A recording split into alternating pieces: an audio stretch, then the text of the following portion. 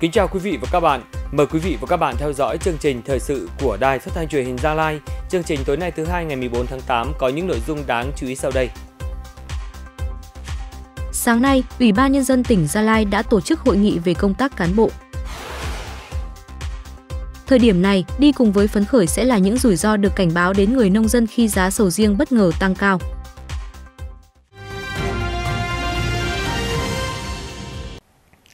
Sáng nay ngày 14 tháng 8, Ủy ban Nhân dân tỉnh Gia Lai đã công bố quyết định điều động bổ nhiệm có thời hạn đối với ông Trần Đình Triết, trưởng phòng đấu thầu thẩm định và giám sát đầu tư, Sở Kế hoạch và Đầu tư giữ chức vụ Phó Tránh Văn phòng Ủy ban Nhân dân tỉnh. Đồng chí Trương Hải Long, Phó Bí thư tỉnh ủy, Chủ tịch Ủy ban Nhân dân tỉnh chủ trì buổi công bố quyết định.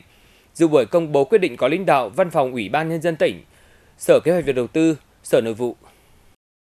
trao quyết định điều động bổ nhiệm, tặng hoa và phát biểu giao nhiệm vụ cho tân phó tránh văn phòng Ủy ban nhân dân tỉnh Trần Đình Chiết, Chủ tịch Ủy ban nhân dân tỉnh Trương Hải Long chúc mừng tập thể lãnh đạo văn phòng Ủy ban nhân dân tỉnh đã từng bước được kiện toàn, bổ sung đầy đủ nhân sự. Đồng chí Chủ tịch Ủy ban nhân dân tỉnh tin tưởng trên cương vị mới được giao phụ trách giúp việc tham mưu cho lãnh đạo Ủy ban nhân dân tỉnh trên lĩnh vực thu hút đầu tư, giải ngân vốn đầu tư công. Phó Tránh Văn phòng Ủy ban nhân dân tỉnh Trần Đình Chiết không ngừng học hỏi, trau dồi phẩm chất đạo đức, chủ động nghiên cứu các quy định mới, đoàn kết thống nhất trong tập thể văn phòng Ủy ban nhân dân tỉnh để vươn lên hoàn thành tốt nhiệm vụ được giao, đặc biệt là kết nối với các sở ngành liên quan của tỉnh để nhanh chóng tham mưu lãnh đạo Ủy ban nhân dân tỉnh triển khai có hiệu quả công tác quy hoạch tỉnh thời gian tới. Chiều nay ngày 14 tháng 8, Ủy ban Nhân dân tỉnh Gia Lai và Trường Đại học Tây Nguyên tổ chức lễ ký kết thỏa thuận hợp tác đào tạo, nghiên cứu khoa học và chuyển giao công nghệ đồng chí Trương Hải Long, Phó Bí thư tỉnh ủy, Chủ tịch Ủy ban nhân dân tỉnh Gia Lai và tiến sĩ Nguyễn Thanh Trúc, hiệu trưởng trường Đại học Tây Nguyên đồng chủ trì lễ ký kết. Dự lễ có đồng chí Nguyễn Thị Thanh Lịch, tỉnh ủy viên, Phó Chủ tịch Ủy ban nhân dân tỉnh Gia Lai. Tại buổi lễ, Chủ tịch Ủy ban nhân dân tỉnh Trương Hải Long và hiệu trưởng trường Đại học Tây Nguyên Nguyễn Thanh Trúc đã ký kết thỏa thuận hợp tác gồm nhiều nội dung quan trọng. Theo đó, hai bên sẽ hợp tác đào tạo nguồn nhân lực chất lượng cao theo những lĩnh vực các bên cùng quan tâm nhằm khai thác những tiềm năng thế mạnh về đào tạo của nhà nước, nhu cầu đào tạo của tỉnh nhằm phục vụ sự phát triển chung của trường và tỉnh Gia Lai. Phối hợp nghiên cứu khoa học và chuyển giao công nghệ nhằm phát triển các sản phẩm trọng tâm đặc thù của tỉnh Gia Lai và khu vực Tây Nguyên, đồng thời sử dụng hiệu quả tài nguyên hiện hữu trong điều kiện biến đổi khí hậu, khai thác và phát huy các tiềm năng thế mạnh của tỉnh Gia Lai vào nghiên cứu khoa học, chuyển giao công nghệ, phát triển thị trường dịch vụ khoa học và công nghệ, chăm sóc đời sống sức khỏe cho người dân và góp phần bảo tồn văn hóa các dân tộc vùng Tây Nguyên.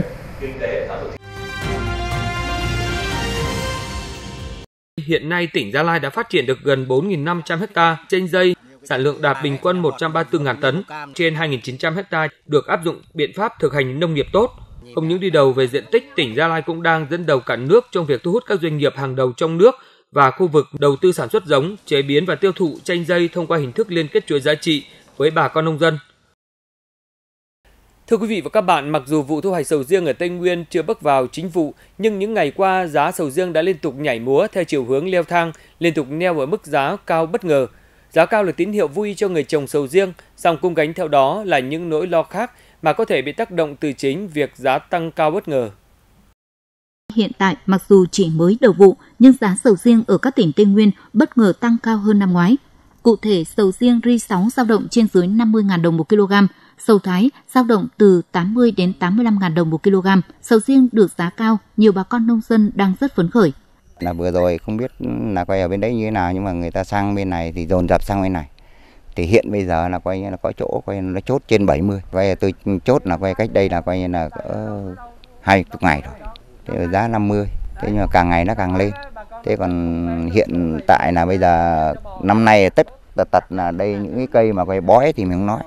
thế còn về thu hoạch thì cắt mới được khoảng 3 tấn thế còn đây là coi như là còn cắt rồi ba, bốn đợt nữa thì mới giá năm nay thì có cao hơn, năng suất nó thấp hơn nhưng bù đi, bù lại thì vẫn chắc hơn năm ngoái ít. Một cây sầu riêng trừ chi phí thì à, mình tầm khoảng 4 đến 5 triệu là trung bình. Giá cao là tín hiệu vui, song các cơ quan chuyên môn khuyến cáo bà con nông dân cũng cẩn trọng khi thực hiện các giao dịch mua bán. Vì hiện tại về phía Trung Quốc vẫn chưa chốt giá nhập khẩu sầu riêng với doanh nghiệp Việt Nam trong những tháng tới, nên rất khó để dự báo chính xác giá sầu riêng tăng giảm như thế nào. Hiệp hội Rau quả Việt Nam khuyến cáo bà con nông dân tuyệt đối không vì giá đang cao mà thu hoạch sầu riêng non để bán. Điều này sẽ ảnh hưởng nghiêm trọng đến ngành sầu riêng Việt Nam nếu vi phạm các điều kiện xuất khẩu. Khi xảy ra vi phạm, nguy cơ sầu riêng giảm giá sâu là điều khó tránh khỏi và nông dân chính là người chịu thiệt hại trực tiếp. Học sinh các bậc học trong tỉnh Gia Lai sẽ tự trường vào ngày 29 tháng 8 năm 2023, riêng lớp 1 sẽ tự trường vào ngày 22 tháng 8. Những tiến bộ đáng mừng sau hơn 10 năm thực hiện cuộc vận động thay đổi nếp nghĩ, cách làm trong đồng bào dân tộc thiểu số để từng bước vươn lên thoát nghèo bền vững.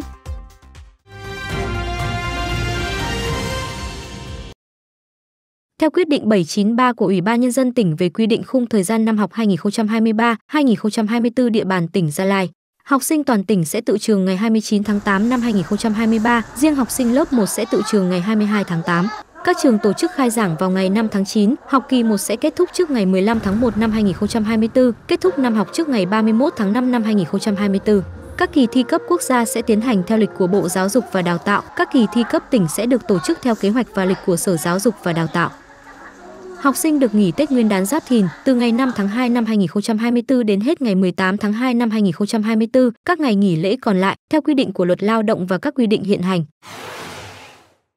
Năm học mới 2023-2024, tỉnh Gia Lai đã đầu tư trên 1.153 tỷ đồng để xây mới, sửa chữa, mua sắm trang thiết bị dạy học.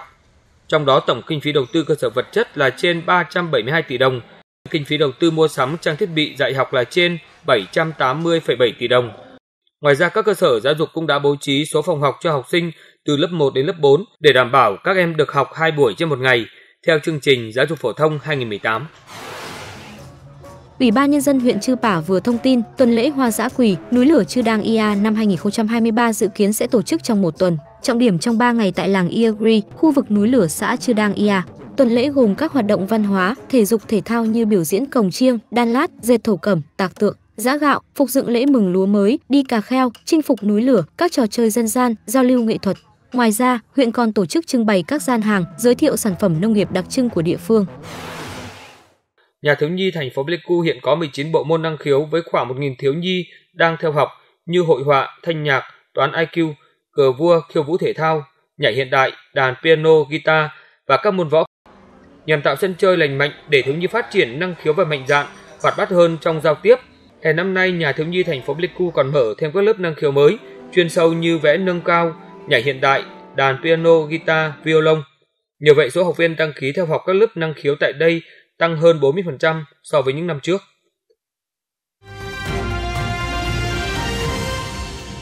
Thưa quý vị và các bạn, cách đây hơn một năm, Ban Thường vụ tỉnh ủy Gia Lai ban hành chỉ thị số 08 về tăng cường sự lãnh đạo của cấp ủy các cấp về thay đổi nếp nghĩ cách làm trong đồng bào dân tộc thiểu số để từng bước vươn lên thoát nghèo bền vững. Đây được coi là sự tiếp sức để cuộc vận động được Ủy ban Mặt trận Tổ quốc Việt Nam tỉnh Gia Lai triển khai hơn 10 năm nay tiếp tục đạt nhiều kết quả phấn khởi hơn. Có thể những chia sẻ sau đây không thể đại diện cho một cuộc vận động, nhưng phần nào cũng nói lên được những tiến bộ đáng mừng từ trong suy nghĩ, cách làm của bà con dân tộc thiểu số suốt nhiều năm qua. Làng Jun, xã Giang Bắc là làng về đích nông thôn mới sớm nhất của huyện Đắc Pơ. Những kinh nghiệm về xây dựng nông thôn mới trong vùng đồng bào dân tộc thiểu số của làng Jun đã bắt đầu lan tỏa từ đó, nhất là thay đổi nếp nghĩ cách làm qua việc tích cực lao động sản xuất, mạnh dạn chuyển đổi cây trồng vật nuôi, áp dụng tiến bộ kỹ thuật mới, chủ động tìm hỏi, việc làm thêm, mùa nào việc nấy để có thêm thu nhập, trang trải cuộc sống, không còn phụ thuộc vào ngày mùa như trước đây. À, trước đây thì bà con dân làng thì chủ yếu là trồng mì, mía nhưng mà bây giờ bà con dân làng thì à, được à, có một số hộ thì cũng à, làm rau hoa màu để mà kiếm thêm thu nhập cho gia đình để được ổn định cuộc sống. Năm 2017, huyện Phú Thiện bắt đầu xây dựng đề án phát triển kinh tế xã hội bốn làng thuộc xã Chư Thai. Đề án này kết hợp vận dụng nhiều chính sách của Trung ương, của tỉnh. Trong đó có lồng ghép cuộc vận động làm thay đổi nếp nghĩ cách làm trong đồng bào dân tộc thiểu số, từng bước vươn lên thoát nghèo bền vững. Để từ đó, vùng căn cứ cách mạng này đổi thay từng ngày. Hiện nay là bà con từng bước là là phát triển kinh tế và ổn định cuộc sống là dần dần là bà, bà con thì uh, tiếp cận với uh, uh, cuộc sống và người kinh là học hỏi kinh nghiệm um, để vươn lên thoát nghèo. Những năm gần đây, người dân xã Chư Pá, thị xã Yunpa đã chú trọng đến việc nuôi bò. hộ ít thì vài ba con, hộ nhiều cũng đến mấy chục con. Điều đáng mừng là bà con đã thay đổi hình thức chăn nuôi từ thả rông sang nuôi nhốt, kết hợp áp dụng các phương pháp lai tạo để cải thiện chất lượng bò thịt cũng như tăng hiệu quả chăn nuôi. Người dân mong giá tập huấn kỹ thuật để bà con biết chế biến thức ăn, vỗ béo cho bò thịt và bò mẹ, biết phòng dịch bệnh, biết làm phân cho nhiều và nhất là biết nơi để bán bò cho được giá. Có thể những câu chuyện do chính đồng bào dân tộc thiểu số kể về cuộc sống hiện tại của mình không mang đầy đủ tinh thần của cuộc vận động, nhưng nó chính là kết quả cốt lõi và mục đích của cuộc vận động của mỗi người dân. Suốt hơn 10 năm thực hiện cuộc vận động, làm thay đổi nếp nghĩ cách làm trong đồng bào dân tộc thiểu số, từng bước vươn lên thoát nghèo bền vững. Chương trình thời sự tối nay của Đài Phát thanh Truyền hình Gia Lai đến đây là hết. Cảm ơn sự quan tâm theo dõi của quý vị và các bạn. Xin chào, tạm biệt và hẹn gặp lại trong những chương trình thời sự sau.